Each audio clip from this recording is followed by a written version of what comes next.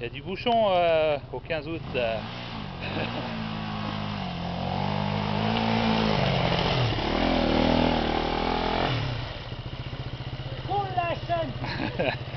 C'est bien, c'est bien, t'as bien retenu la leçon.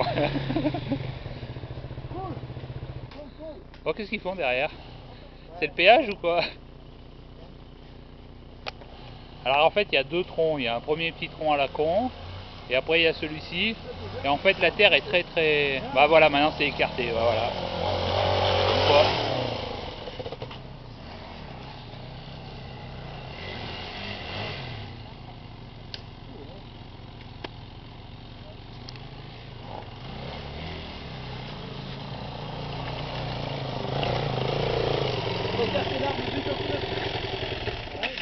Ah, tu dois écarter de ça là.